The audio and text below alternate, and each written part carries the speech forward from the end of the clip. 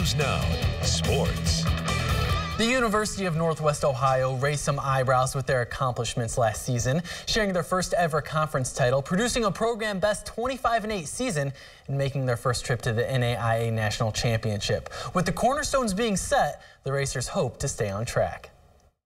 It was a historic run last year. The buzz about UNOH basketball was back, or really just beginning, really with Coach Adams and everything they've done here. So to be a part of that was awesome. Though last season was historical, the UNOH Racers are putting last year in the past. Definitely, I mean, put it behind us and we tried to do better this year. I mean, we had, in the beginning of the season, our uh, goals were a little higher this year. But right now, we're looking at just making nationals again. Posting a 19 and 3 record in the Wolverine Hoosier Athletic Conference was the best UNOH has seen in its nine-year tenure. But getting back to those numbers will be tough. Early in the season, we missed those graduating seniors, and so we were we weren't we weren't hitting on all cylinders, and and, uh, and and we struggled offensively a little bit. However, not all is lost to graduation.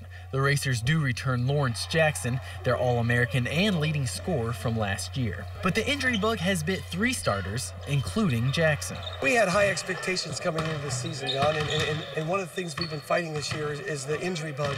And uh, we have not started the same lineup uh, in almost any one of our games due to their injuries. So it's been a tough start to a year, and uh, our attitude right now is just to keep working hard and get better at doing what we do and that improvement will have to be seen in January. The month of December has not been too kind to UNOH, dropping their last five games, but the Racers look to straighten themselves out in the new year. We leave 2015 behind. You know, beginning of the year, we had a great run last year in 2015, and then we didn't close exactly how we wanted to, but 2016 is a new year, so we'll see what we can do about it.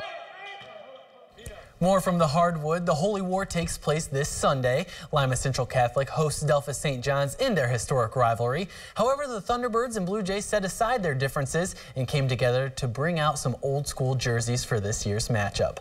All the way back in 1949, LCC and St. John's dueled in the district tournament. The Blue Jays coming out on top and going on to win the state title. Both teams are, drawn, are donning the 1940 style to honor their successes from the past you can see the excitement from the former and current players as well as the coaches heading into this weekend's battle. I like that it uh, kind of brings the whole community together. It kind of lets all the people that come being able to look into the past and see how everyone wore these uniforms and see how they played on weekends like that. I never had any problem getting up for a game against Delphos. That was a priority. I think they're really excited about it. You know, I think, you know, change or something, doing something a little bit different. Um, to create some new type of energy. Uh, you know, as we enter the month of January, our, our, guys are looking forward to it, and I'm sure LCC is as well. We're all pretty excited. It feels like an achievement, kind of. I mean, like I said, no one's ever done it before, and it just feels really good.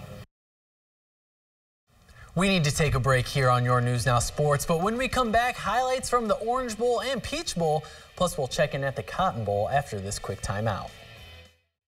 Welcome back. Tomorrow is the big day for Ohio State and Notre Dame fans. The Fiesta Bowl will be underway in less than 24 hours. To no surprise, Joey Bosa confirmed he is going to the NFL, foregoing his senior season. With Cardale Jones and Ezekiel Elliott also reaffirming their decisions, one might be nervous that the players' minds are on their futures instead of the present. But head coach Urban Meyer dismissed all of that and assured everyone that his athletes are professionals.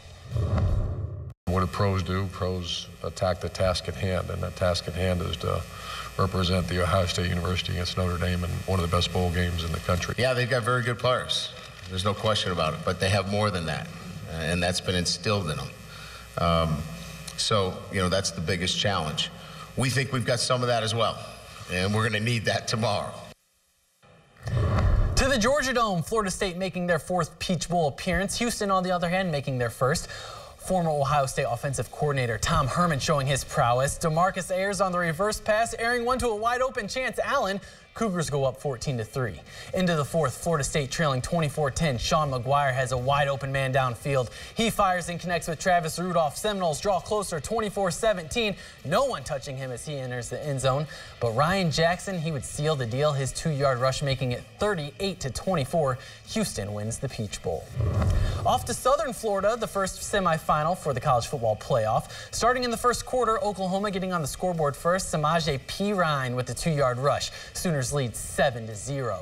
Into the second, Clemson facing a fourth and four. They call a good old-fashioned punt fake. Andy Teasdall with a beautiful pass to Christian Wilkins for 31 yards and a fresh set of downs. If only he could have stayed in bounds. But two plays later, the Tigers strike Deshaun Watson, scrambling and working his way into the end zone. Clemson back on top, 10 to 7. Late in the same quarter, Baker Mayfield finding Mark Andrews in the flat. He puts on the brakes, then back on the accelerator. Sooners lead 17-16 at the break. A close first half, but the second half got ugly for the Sooners. Wayne Gallman in from one yard out.